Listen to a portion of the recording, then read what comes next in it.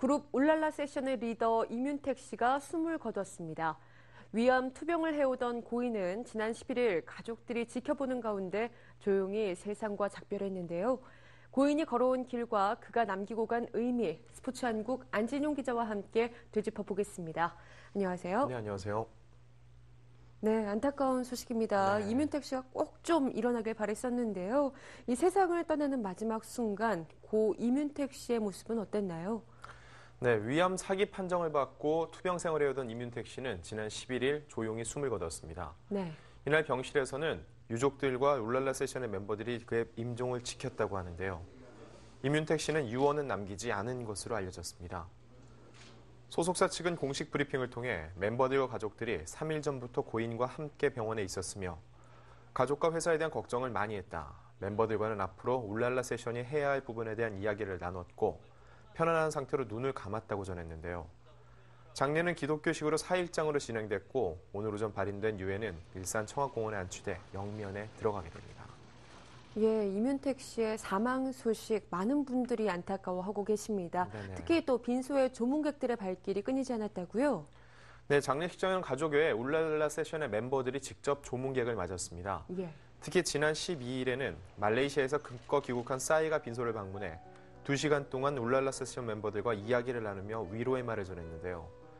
이외에 수많은 스타들뿐만 아니라 임윤택 씨와 함께 슈퍼스타 K3에 참가했던 버스커버스커의 장범준, 신지수, 이건율 등도 빈소를 찾아 눈시울을 붉혔습니다. 임윤택 씨의 장례식장은 박근혜 대통령 당선인을 비롯해 이승철, 양현석 YG 엔터테인먼트 대표, 배우 김희선, 이병헌 등이 보낸 조화 수십여 개가 빈소를 애워싸 눈길을 끌기도 했습니다.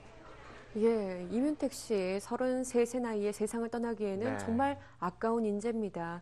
고인이 걸어온 삶의 발자취를 다시 한번 짚어볼까요? 네, 고인은 중학교 때부터 온갖 댄스 대회 출전에 우승을 거둘 정도로 소문난 춤꾼이었습니다. 예. 서울여대 방송연예과 진학 후에는 현 울랄라 세션 멤버인 박승일, 김명훈, 박광선 등과 팀을 결성했습니다. 언더그라운드에서 이미 실력자로 이름을 날린 울랄라 세션은 지난 2011년 엠넷 슈퍼스타 K에서 우승을 차지하며 힘든 무명 생활을 털어냈는데요. 울랄라 세션은 뛰어난 가창력과 화려한 퍼포먼스를 바탕으로 역대 출연자 중 가장 높은 지지를 얻었습니다. 하지만 방송 중 고인이 위암 4기 판정을 받고 암 투병 중인 사연이 알려지면서 많은 사람들에게 감동을 전하기도 했는데요. 지난해 5월 첫 미니 앨범 울랄라 세션 센세이션을 발표하면서 정식 데뷔 후 현재까지 활발히 활동해 왔습니다. 예, 그런데요. 임윤택 씨 생전에 사실 악플들이 굉장히 많았어요. 뭐 암이 아닌 것이 아니냐, 네네. 어떻게 저렇게 활용할 수 있냐, 뭐 갖가지 악플들이 많았는데요. 사망 소식이 전해진 이후에는 자성의 목소리가 높아지고 있다고요. 네, 이윤택 씨의 암 투병 소식이 알려진 후 보도 사연을 감동적으로 만들기 위해서 조작한 것이 아니냐는 얼토당토하는 주장을 내놓기 시작했는데요. 아픈 기색 없이 무대에 올라 열정적인 무대를 펼치는 그의 모습을 보며 근거 없는 악플이 쏟아졌습니다. 대해 이윤택 씨는 사망 전 한 토크쇼에 출연해 요즘 살이 찌니까 암에 걸린 건 맞나? 아직 살아있냐? 등 악성 댓글이 달렸다. 나는 상관이 없는데 부모님을 비롯한 주위 사람들이 상처를 받는다며 정말 아픈데 그것을 인정 안 할 만큼 건강하게 봐주셔서 오히려 감사하다며 웃으며 의연한 모습을 보여주게 되었습니다. 네. 때문에 그가 사망한 후 상대방의 가슴에 비수를 꽂을 수 있는 억측과 악플을 자제, 아, 자제해야 한다는 목소리가 높아지고 있죠. 예, 참 이런 악플에 이렇게 대응할 수 있다는 건요. 아무래도 긍정적인 삶의 자세가 아니면 쉽지 않은 일인 것 같아요. 이민택 씨 하면 무엇보다도 긍정의 힘을 빼놓고 얘기할 수 없겠죠. 예, 맞습니다. 이민택 씨는 지난해 자서전을 출간했는데요. 이 자서전의 제목이 안 된다고 하지 말고 아니라고 하지 말고였습니다. 위암 투병 중에도 자신의 꿈을 이루기 위해 전진하는 그의 삶의 모토를 그대로 반영한 말이라 할 수 있는데요. 슈퍼스타 K3 우승 이후 이민택 씨는 그야말로 긍정의 아이콘으로 떠올랐습니다. 예, 본인 몸 생각하기도 참 힘들었을 것 같은데 투병 중에도 조용히 선행을 해왔었다고요? 네, 임윤택 씨는 자신과 같은 암 투병 중인 환자들을 후원해온 사실이 뒤늦게 알려지기도 했는데요. 이민택 씨는 소아암 센터를 방문해 아이들과 만나 희망을 북돋으며 희망 전도사 역할을 톡톡히 했고요. 임윤택 씨는 자신의 결혼식을 비롯해 동료 김명훈 씨의 결혼식과 첫 번째 단독 콘서트에 팬들이 보낸 쌀화환 270kg을 문산 지역 아동센터 등에 기부하기도 했습니다. 봉사는 가지는 게 많은 사람이 아니라 마음이 부자인 사람이 하는 것이라는 평범한 진리를 몸소 실천했다고 볼 수 있죠.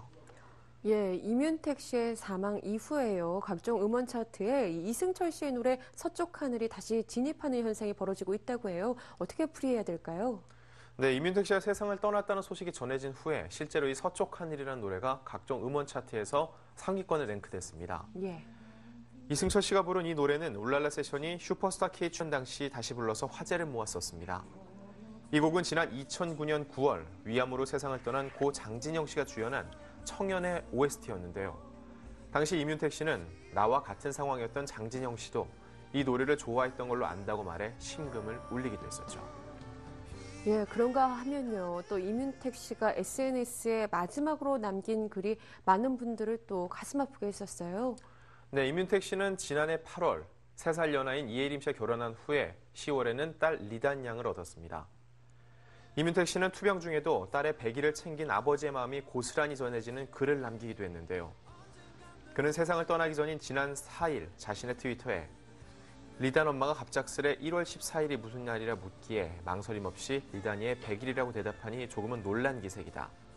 난 자상하고 꼼꼼한 아빠건을 벌써 100일 식사 모임할 곳 세 군데 정도도 간추려 놨다고는 글을 올려서 이미 세상을 떠난 이민택 씨를 바라보는 팬들의 마음을 더욱 안타깝게 만들었습니다. 네, 이윤택 씨가 남긴 글뿐만이 아니라 오늘 오전 고인의 아내가 남긴 글 역시 가슴 찡하게 만듭니다.